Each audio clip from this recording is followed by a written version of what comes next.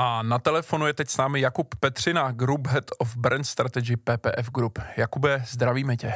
Ahoj. Dobré odpoledne, ahoj Jakube. Před pár dny jsem u vás na Brumlovce, to znamená v sídle O2, eh, odsledoval prezentaci eh, tebe a eh, tvého kolegy Davida Daneše o tom, jak se mění značka O2. Především se vrací ke klejmu více ze života, který zhruba před 20 lety používal Eurotel. Tak nejdřív se chci zeptat, proč se tak děje vlastně? Um, já bych, uh, Ondro asi úplně nezačínal tím claimem, jo. Ten claim vlastně hmm. byla uh, chronologicky poslední věc. Ta, to, co bylo nejdůležitější a proč jsme se vůbec pustili do uh, jakýsi úpravy kurzu značky O2, je to, že jsme viděli, že za prvý je ta značka super silná a, a je vlastně, což je první dobrá zpráva, a druhá dobrá zpráva byla, že, že je vlastně silná těch uh, atributech, které jsme chtěli, aby, aby šli do popředí a to je vlastně leadership v oblasti technologií. To je něco, co si myslíme, že jednička na trhu má mít, prostě produktová excelence. Jo, za prvé. Ano. A co jsme tam ale zároveň taky viděli, že, že máme slabší hodnocení v oblastech, které se týkají hm, porozumění lidí, obecně lidskosti, řekněme přátelskosti, nějaký popularity a tak. A takže ten hlavní úkol, který jsme řešili, je za prvý, jestli nám to vlastně vadí nebo nevadí. Říkali jsme si, to nám vadí. Dlouhodobě to nechceme. Jo, tu technologii neděláme pro sebe, a je to všechno cesta, jak eh, lidem zlepšovat eh, život, a jak jim pomáhat a tak dále. A byla by většiná škoda, kdyby to ty lidi, ty zákazníci eh, neviděli. Jo? Takže ten, ten hlavní úkol, který před náma ležel, byl, jak vlastně propojit ten, tu technologickou excelenci s lepším životem na straně, na straně těch lidí. To byl ten hlavní, ten byl ten hlavní strategický úkol. A to jsme řešili. Potom na konci byl vlastně ten claim, kde jsme říkali, dobrá, pokavat, pokavat do, do té strategie a do té značky chceme dostat eh, víc eh, přátelskosti, řekněme, víc vstřícnosti možná, Víc emocí, nebo víc, víc života vlastně, že jo? Vy jste říkali... Života, uh... přesně tak, víc života a, a víc eh, empatie, víc lidskosti, tak uh, se nám k tomu úplně nehodí ten současný, ten, ten současný claim inteligentní síť. Jasně. A tak, ale, ale provodní cíl nebyl samozřejmě změnit claim. Claim je, mm, já, já doufám, že, že, že se za to na mě nebude někdo zlobit, ale claim je relativně jako trošku technikálie, jo. Jasně. A, a, ale my jsme chtěli uh, něčím potrhnout uh, tu změnu a, a tím jsme se dostali zpátky k uh, více ze života, který měl Eurotel před uh, 20 lety, tuším.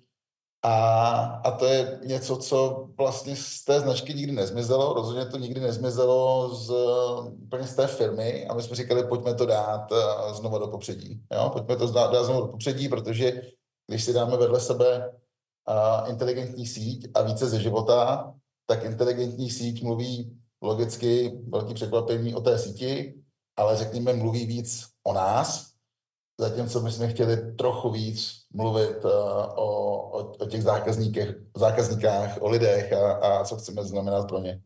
Jasně, ono se to zobrazilo v tom, že k té postavě, takové té androidí až postavě té, té ženy, jejímž předobrazem byla uh, polská modelka, ale teď už, uh, jak říkal také tvůj kolega, poslední čtyři roky je vlastně generovaná pomocí CGI, tak přidáváte v té reklamě, v těch, v těch vizuálech um, komunikačních, přidáváte reálné lidi v reálných situacích v přírodě venku a ty sám si ještě navíc zdůraznil, že jde vlastně o drobnou úpravu kurzu což vlastně potrhuje nebo schrnuje to, co si právě řekl, jestli se nemýlím. Je to tak? Přesně tak. Ta, my, jsme, my jsme vlastně udělali to setkání s, s novináři, vlastně jste byli novináři z, z řekněme, z businessovo-marketingové sféry, a, protože nám přišlo zajímavé nechat nadlídnout trošku postup pokličku a, mm, vlastně brand managementu takhle, takhle velké značky. Jo? A, a nejedná se, a myslím si, že myslím si, že takhle velké značky vlastně málo kdy dělají jako obrovské korekce nebo, nebo repositioningy, nedej bože, nebo snad eh, rebrandingy a, a, a tak. Takže ani v našem případě to není žádná mega revoluční záležitost, ale v dlouhodobém pohledu, jak už to, co, co ta drobná změna kurzu může udělat v delším časovém horizontu, je, že chceme, aby se zaprvé nestratil ten technologický leadership a za druhé, aby tam bylo vidět, proč ho děláme a pro koho ho děláme. No, to samozřejmě Jakube nahrává na tu další otázku, protože takový technologický leadership není úplně pro každého zákazníka, proto vy se taky chcete, aspoň jste o tom tak mluvili, soustředit na takzvané progresivní domácnosti a, a taky na lokální influencery, což jsou lidi, kteří si tuhle uh, high-tech jako úroveň vašich služeb a produktů můžou dovolit. A taky si s nimi jako technicky poradí, což už taky není úplně pro každou generaci, co si budeme povídat. Uh, nicméně pořád platí, že jste prostě jednička na trhu a tím pádem jste jako masová značka, která ve finále ale stejně je tady pro každého, tak uh, jestli bys tohle mohl trochu vysvětlit, jo? ten fokus na, na tu, na tu high-tech cílovku nebo na, na ty technologicky víc jako advanced lidi versus to, že jste přece jenom masová značka. Tak přesně, my jsme masová značka, máme, náš podíl na trhu je, že podle jednotlivých produktů vždycky přes 30%, takže a, naším úkolem vždycky bude a, pomoct každému, jo? ale každý, každý marketér, každý brand manažer, každý šéf marketingu ví, že když cílí na každého, takže taky může skončit u toho, že vlastně pro nikoho z nich neudělá nic pořádně. A, a my jsme si chtěli vytvořit takovou, řekněme, jádrovou cílovou skupinu, abychom věděli, pro koho chceme být nejlepší na světě, jo? nebo zdaleka nejlepší. A, a to jsme si řekli, to jsou progresivní domácnosti, je tam pro nás důležitý to, že to jsou domácnosti, že to jsou skupiny lidí, protože potřeby rodiny, řekněme, jsou trošku komplexnější než potřeby uh, single člověka. A, a my díky tomu um, vlastně ekosystému produktů, služeb, nejširší nabídce všeho, uh, všeho možného z oblasti softwaru, hardwareu, služeb, jsme schopni poskytnout uh, těm domácnostem vlastně toho nejvíc. A, a to, je, to je součást toho leadershipu vlastně na straně, na straně produktu. A, a zároveň my, a my chceme, aby oni vlastně byli, aby se pro ně byly vlastně nespochybnitelná volba číslo jedna. Jo, úplně jednoduše. Úplně jednoduše. A, a když, a říkáme, pokud budeme volba číslo jedna pro tuhle nejnáročnější uh, skupinu, a řekněme možná nejznalejší a nejzkušenější zároveň, a, tak, uh, tak věříme v to, že jsou zároveň do velké míry opinion makers pro uh, ostatní cílové skupiny. Jo, takže, takže to je vlastně taková trošku šalamonská odpověď na to, jak mít, jak vůbec mít nějakou jádrovou cílovou skupinu a zároveň být uh, masová značka, protože my nemáme jinou volbu, než uh, ultimátně masovou, masovou značkou být, ale, ale, ale je potřeba vědět, uh, pro koho, pro koho chceme být zcela jako nes, nespochybnitelnou volbu. No já si to překládám, Jakube, tak, že v podstatě budete cílit na, na generaci mojí, takže jako aktivní prostě lidi, kteří jsou uprostřed produktivního života. Uh, současně mi doručíte zprávu, že pokud mojí, moje dorůstající děti uh, potřebují high-tech připojení, high-tech vybavení, tak nemám hledat nikde jinde, ale současně jste schopný obsloužit i moji maminku na venkově. Je to tak, chápu to dobře. Je to tak, je to tak, naprosto přesně. OK. A teďka tady trošku v pozadí přemýšlím, jestli si opravdu myslíme, že jsme uprostřed produktivního života, ale... to, necháme na, to necháme na Indy. Jste i pro nás mladší, já to po, tak... Pouštím se tady do, do, do, do složitý matematiky. Ano. no ale jak říkáš, je to zároveň šalamounský, protože tak já, jak já jsem um, poslouchal um, to, co si nám tam vlastně říkal na tom setkání, uh, tak uh, to, co se vlastně řeší na mnoha místech ve světě právě v oblasti brandu, je přesně tenhle ten svár nebo tahle do jistý míry kvadratura kruhu mezi, mm, mezi eh, vlastně jako masovou segmentací, pokud tohle není, není protimluv, a nějakým právě targetingem, že jo. A eh, často vlastně to jde ruku v ruce. Říkám to správně. Jo, jo, jo, ten, ten spor je vlastně mezi na jedné straně takovým jako sofistikovaným masovým marketingem a, a na druhé straně targetingem. A strašně záleží na tom, jak velká značka jste a jak velká značka jako chcete být. Mm, no? Mm, pokud, pokud jsem lídr trhu a, a, a z definice, protože jsem lídr trhu, tak, tak jsem značka veliká, tak těch zákaznických segmentů musím být schopný obsáhnout víc. Pokud jsem challenger, pokud jsem niche player na tom, na tom, na tom trhu, tak, tak si můžu dovolit vyzobávat a můžu, můžu, můžu být jakoby chirurgicky přesný. Jo? A, ale jak říkám, jako my, my jsme značka, značka číslo jedna a věřím, že vždycky autu číslo jedna bude a, a, a tudíž, tudíž je potřeba, aby byla, aby byla velmi dobrá pro všechny, ale přece jenom vždycky by tam měl být někdo, koho máme na, možná na mysli jako číslo jedna. Jo? Ale vlastně, když se vezmu tu progresivní domácnost, ještě se tomu ještě trošičku vrátím. Jo? A tam je fakt důležité vidět celou tu rodinu, no, protože, protože v celé té domácnosti, domácnosti všichni nutně nejsou jako a, a, technologický jako šampioni. Jo? A jeden z těch dvou dospělých jako možná bude jako víc datný v těch technologiích než ten, než ten druhý, pak tam jsou ty děti, které zase jsou super zdatní v, v užívání těch technologií, ne nutně jako v, ve znalosti pricingu nebo, nebo nastavení těch služeb a nastavení Wi-Fi a tak podobně. Jo, takže, takže vlastně důležité je umět jako obsáhnout ty potřeby a té, a té celé domácnosti, ale, ale tak, aby nutně ten zákazník na, na, na té druhé straně jako nebyl, nebyl jako expert. Že?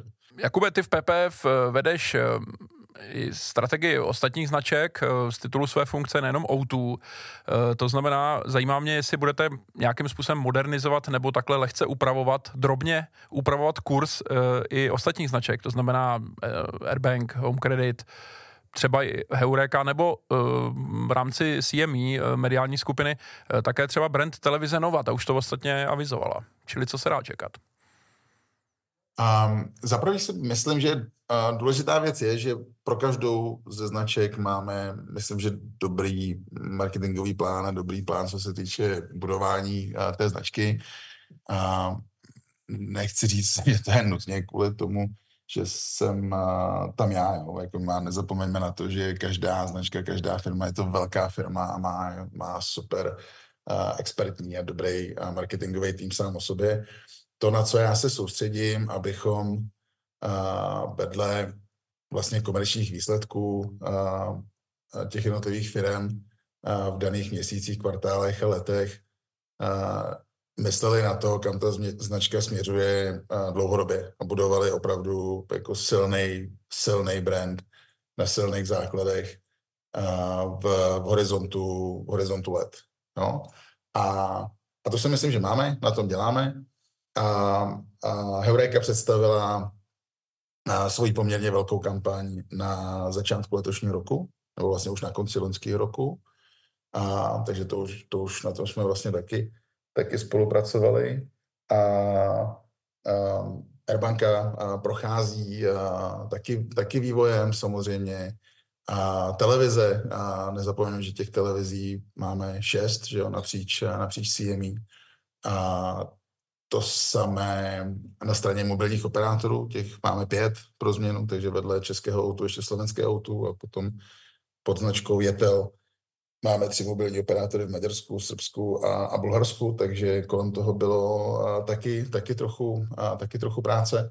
A, ale každá ta značka je samozřejmě jiná, to je daný tím, že to je jiný sektor, je to jiný, a, jiná země, a, ale ale to, co jsme udělali, že jsme si sjednotili postupy, sjednotili jsme si i terminologie, sjednotili jsme se, a to bylo, myslím, hodně důležitý v tom, jakou důležitost vlastně pro nás dobrý brand management má. To jsme, to jsme řekl bych, trochu vytáhli nahoru a, a pracujeme na tom na, na, všech, na všech těch frontách. Takže myslím si, že to postupně lidi uvidí, ale já jsem jako nepřišel kvůli tomu, abych eh, dělal jako revoluce ve značkách, ale, ale mnohdy to je řekněme dodávání kuráže eh, těm lidem, že, že můžeme si tu laťku dát trošku výš a někdy to je o dodání o možná audience a důležitosti pro, pro, tu, pro tu danou činnost a, a, a někdy to je o inspiraci a, a, a pomoci s těma konkrétníma krokama, ale je to vlastně s každou, zemí, s každou zemí a s každou značkou možná trošku, trošku jinak. No a úplně nakonec Jakube otázka, eh, která souvisí s vaší novinkou, kterou jste uvedli teď v půlce dubna, a sice platforma Unity, která vlastně zastřešuje velkou část těch značek, o kterých si mluvil před chvílí. A jak jste sami uváděli, chcete vlastně jednak diversifikovat aktiva a a taky vlastně zaměřit uh, že společnosti celé vaší skupiny víc na retailové zákazníky, hlavně v bankovnictví, v telku, v médiích a v e-commerce. Tak uh, můžeš krátce jenom už na závěr se zmínit uh, o téhle novince. Um, Unity je pro nás jako pro PP poměrně přelomová záležitost. A, a nejenom pro nás, ale myslím si, že ve finále pro, pro celý trh. A to je, že doposavat ty naše značky vlastně na tom trhu působily zcela samostatně.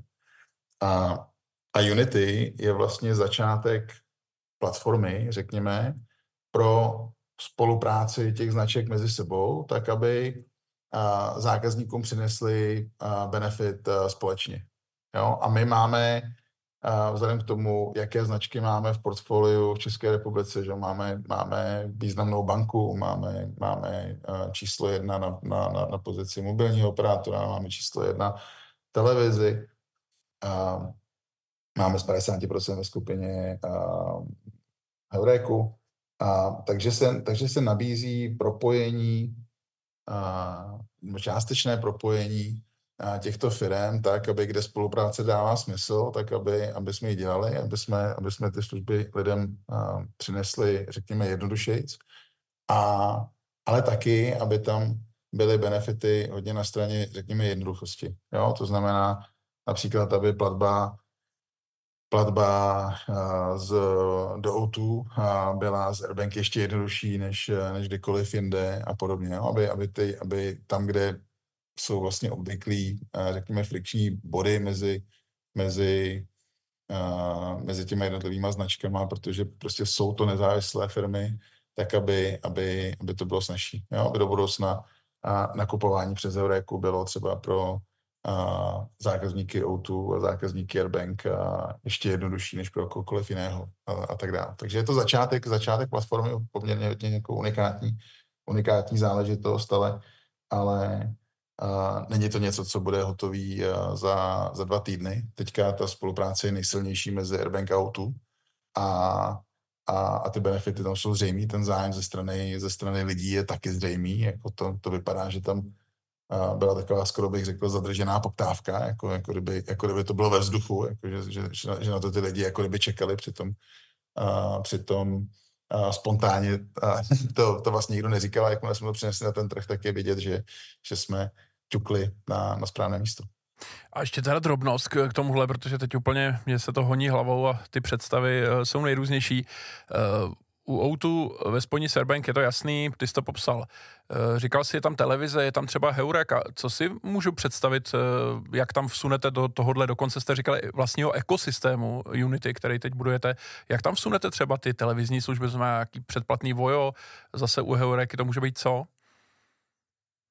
Ondro, to je hezký pokus, ale já to teďka dneska neřeknu. A, a to ty Nic, zkusil mají, jsem to, no. mají svůj čas a chápu, zkusil jsi to hezky, ale, ale ty věci mají nějaký svůj čas a, a, a my obecně a poměrně dost a neradi mluvíme o takhle velkých věcech předtím, než jsou upečený, takže a až to upečeme, tak určitě dáme, dáme vědět. Jasně. Jakoby moc děkujem.